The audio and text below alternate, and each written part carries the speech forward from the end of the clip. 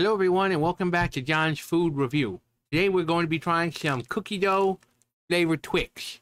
Now I don't know if these are new. I don't know. And I haven't done one of these in a while because I don't know, I lost track of time and couldn't keep up with it.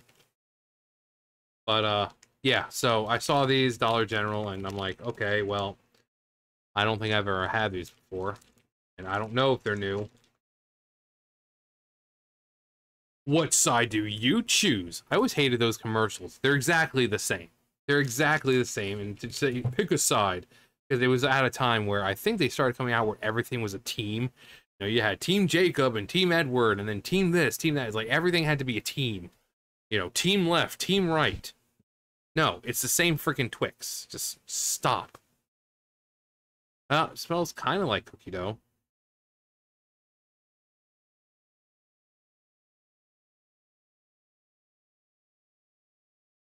It's kind of like cookie dough.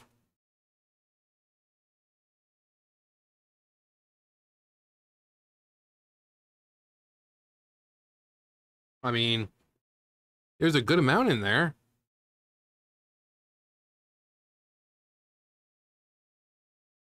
Hmm.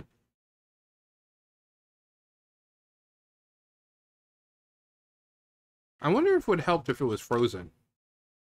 Or like really cold.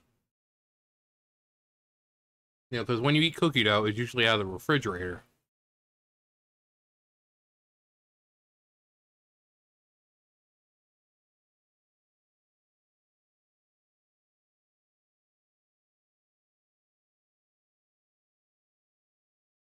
Hmm.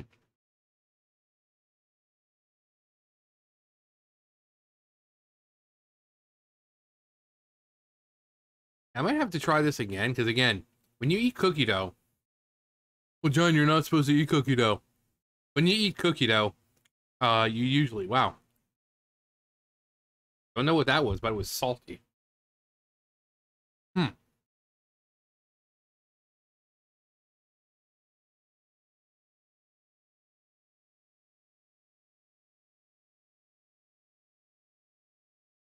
Hmm. Yeah, I don't know what that was, but it was salty. Uh, yeah, I think they're not bad. But again, I think if it's going to be like a cookie dough flavored something, it would definitely be better if it was frozen or cold. This one, I they were just kind of like sitting in one of those little cardboard things, just sitting in there with like M and M's and stuff. Um, again, every time I've had cookie dough, it's always been from the refrigerator or for the freezer, and it's just it really brings out that cookie flavor. So I might try it again. Um, maybe tomorrow. I'm going to Ingles tomorrow probably, so see if they have them there. But if not, I can just walk down to Dollar General and uh, get them down there, and then come back and just stick in the freezer for, you know, because there are some things that are just meant. It's kind of like Pop Tarts. Some Pop Tarts are meant for the freezer.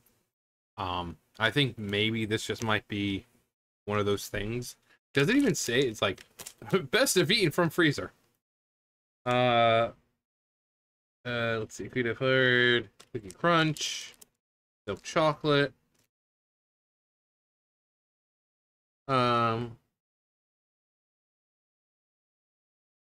no, doesn't really say anything. I think even with um the Pop Tarts, I think doesn't say on the box, you know, to put in the freezer or whatever. Uh, again, it's good. You know, anything that's like cookie dough is good. It's just, it's just, it doesn't have the same texture you expect from cookie dough. Is pretty much it. You know, you you think of like really, think of cookie dough. It's firm but very soft at the same time. You have the chunks of chocolate chip. You know, the chocolate chips in there, and you get that crunch from the chocolate chips. Um, but since there's a Twix and all that, um, you get that you know crunch anyway from you know the cookie itself and um yeah i think i'll have to try that again. I mean i don't think i've tried many other things twice. Um i think actually the only time i've tried something twice was the um the pink sauce. You know, I tried it the first time when it was just like right out of the bottle, it was still warm. And then I'm like, you know what? I'm going to give it a fair chance. I put it in the refrigerator and I gave it some time to, you know, cool down and chill and settle and let all the flavors mesh and mingle and get to know each other. And then I tried it again and I'm like, ah, it's still bad. Um, so I think that's the only time I've tried something twice. So I'm definitely gonna have to try these again. Um, I like giving everything a fair chance. So, but other than that, it's a Twix. You really can't go wrong with Twix. You know, it's a good, good chocolate. Got the crunch of the wafer or the cookie that's in there. Uh, so not too much to say about that. It's just a standard Twix. If you take out the cookie dough part, uh, I think just like I said, the firmness and the the, the, the cookie dough, because whenever you have cookie dough, you kind of have a certain texture that you're used to.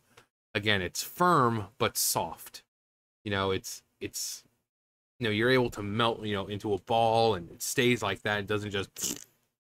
Um, but when you bite into it, it's it's soft, but it doesn't like you know it, it it's hard to if you've had cookie dough, you know what I'm talking about. Um.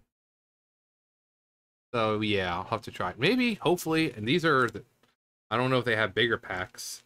I'm just completely out of the loop when it comes to candy now. I don't know what they have, what they don't have. I'm like, is this standard size now or bigger packs? I just, I don't know. I don't know. I'm so out of the loop on so many stuff like that because I don't you know. But I'll go to Ingles. I gotta got stuff anyway. I've been putting off shopping for like the last week. Just because it's been so freaking hot and I felt like crap after working. So, but tomorrow I just go to work, get it done. Just just do it. Just do it. Um I'll see if they have them. I think they usually have a better selection of candies and chocolates than uh, Dollar General. But one thing I still can't find is uh, you know, bottle caps. Can't find them. Can't find them. Can't find them. you know, I just I can't.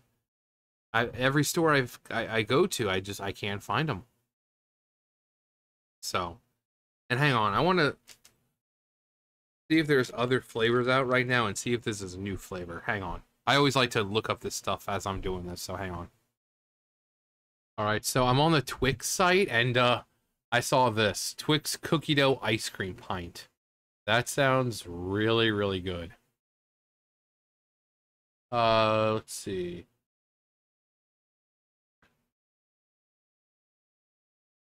All right, typed in my area, and they don't have anything. They have Circle K's and 7-Elevens, and ah, Sheetz. Of course, you can't see it. Hang on.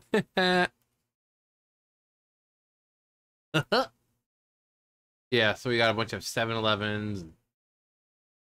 We got, let's see, Rockwell, Rockwell, Mount Pleasant. All these aren't too far, but I, yeah, like see like 13 mile. I'm not gonna go all that way for a freaking pint of ice cream.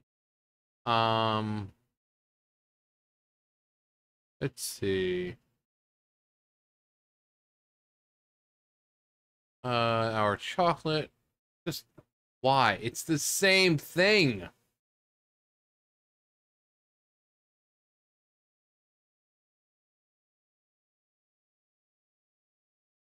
All right, we've got cookies and cream, salted caramel, ice cream bars, which you know obviously, see, uh, put it right in the freezer. Twix ice cream. I think I had Twix, just a flat out Twix ice cream. It's actually really good. Um, is that really all they have? Huh. You know, for Twix, you would think there'd be more variety. But we have one, two, three, four different flavors. It just seems a bit odd. This seems a bit odd. But like salted caramel, you can't really go wrong with salted caramel.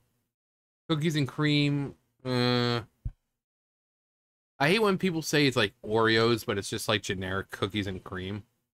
You know, you get like ice cream. It's like, oh, Oreo ice cream. But then it's just like generic cookies and cream. They just slap Oreo on it. But at least I, I respect it more when they just say cookies and cream. Rather than Oreos. Oreo flavored. It's not Oreo flavored. Like if you take out the cookies and actually look at them, they're not even Oreos. Um that's interesting that they don't have cookie dough.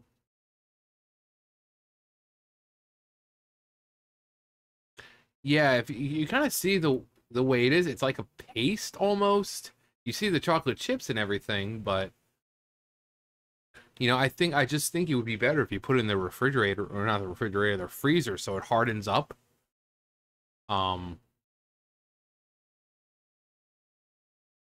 I mean, it just makes more sense considering it's cookie dough. You want that nice firmness to it. So, we all like to be a little firm sometimes. Um, but yeah, so you can expect to see a, a part two probably tomorrow or the day after or something where I come home, put it in the freezer, let it sit there for however long it takes for them to freeze up. And then uh, I can actually I, I would say break my teeth, but now I remember with Pop Tarts, you know, there was a time when you weren't able to put them in the freezer. You'd bite into them and you would pretty much break your teeth. Um, nowadays they're kind of made, you know, people the, the people in mind of oh well these people might put them in the freezer. But back when I was a kid, like if I put like the apple ones, the frosted apple or into the freezer, ah, no, you'd break your freaking teeth. No, because they were hard, solid. Nowadays, it's like you can still into them, but I assume it's the same thing with like chocolate nowadays because I know a lot of chocolates back then were made the same way. You put in the freezer, you take it out, you try to bite into it, and you break your teeth. Nowadays, it looks like you can pretty much put any chocolate or whatever in the freezer and you're just fine. Um, I don't do that, so because I don't really buy chocolate. So tell me if I'm right or wrong, but I know back when I was a kid and I was putting, you know, chocolate in the freezer and Pop Tarts in the freezer, yeah, they were solid. And if you tried to bite into it, you would break your teeth. Um, so,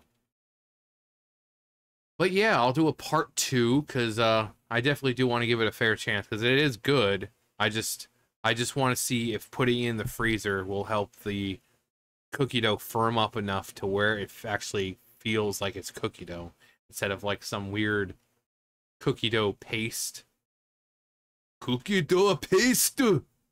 Um, so giving it a fair chance. And if I see see him tomorrow, uh, see him tomorrow at Ingles, I'll get one. Um, and if I see anything else, I really should get back to doing like these.